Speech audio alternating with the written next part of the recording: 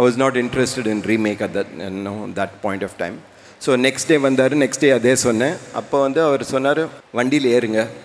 நீங்களே வந்து இதை கமல் கிட்ட சொல்லிவிடுங்க ஸோ இங்கேருந்து ஏவிஎம் ஸ்டுடியோ வரைக்கும் கூட்டிகிட்டு போனார்.